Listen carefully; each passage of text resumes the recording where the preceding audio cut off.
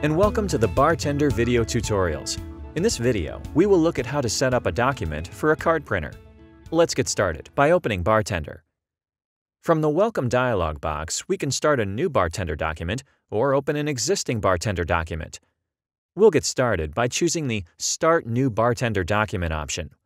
This opens the New Document wizard. If, for whatever reason, you do not get the Welcome dialog box, you can always come up to the File menu and choose New. This will also open the New Document wizard. In the New Document wizard, you have the option to open a blank template or to work on an existing BarTender document, which you can select from the files on your computer. Since we're setting up a new document, we'll begin with a blank template. Click Next to continue to the printer selection. Here, you will see all of the printers installed on your computer. If you do not see your card printer, exit the New Document wizard and install your printer at this time. Go ahead and select your printer and click Next. BarTender contains a list of commonly used cardstocks. The most typical cardstock size is the CR80. If you are using a different stock, you can look through this list and choose that stock. If you need to use a stock that is not in the predefined list, you can choose to enter custom settings by selecting the Specify Custom Settings option. For the purposes of this video and to illustrate the options available in the new document wizard, we will choose Specify Custom Settings and click Next. Here we can choose our card size and change the orientation of our design area. If you choose a predefined stock, you will skip this step in the new document wizard, but if you choose to make a change to the orientation, you can do that using the Page Setup dialog located in the File menu. Notice that we have a preview window that gives us a graphical representation of our document.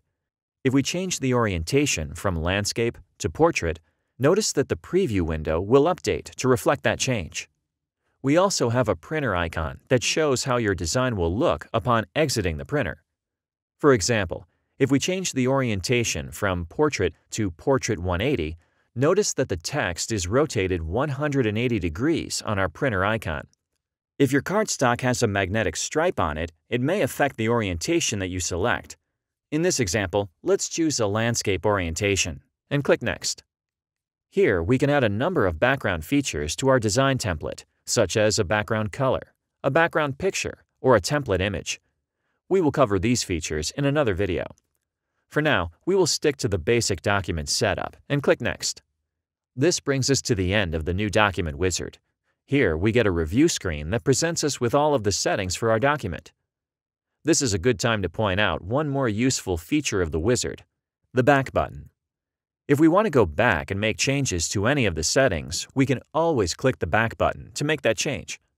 When we click Finish, our new BarTender document is created. We can also click Finish at any point in the wizard to go directly to our new document. Finally, all we have left to do is save our document. One last important note. Many of these settings can be changed at a later time using the Page Setup option located in the File menu. To quickly recap, creating a new document in BarTender is easy. Simply open the New Document wizard on Startup or from the File menu and follow through the pages until you get to Finish and Save. If you still have questions about this process, consult the BarTender Help System or check out our other videos. Thank you for watching.